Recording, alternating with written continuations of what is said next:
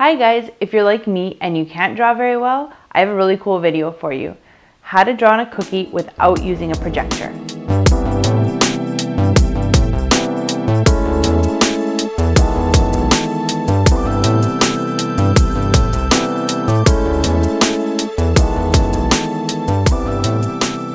All you need is a glass or plastic frame, you can just take it from any picture frame, the image you want to trace, and an edible marker.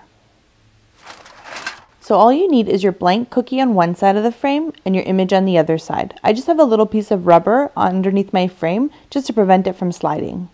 So you can see here I have an image of a ballerina. You can see the reflection in the glass that's projecting onto the cookie.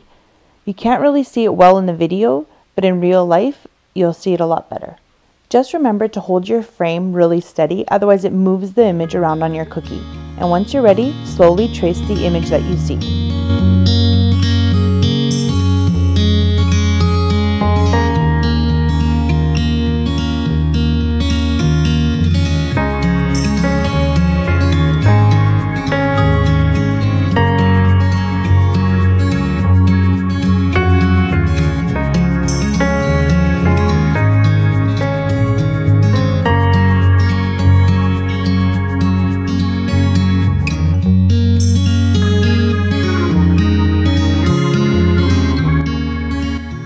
Okay, I'm all done now. You can see the image came out pretty close to the picture.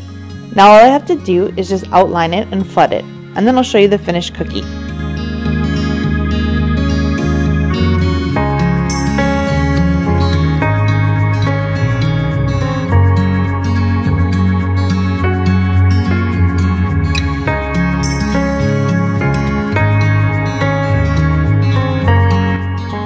This is a great alternative if you don't have a projector. You can really use any image you want, and all you need is a few things that you have around your house.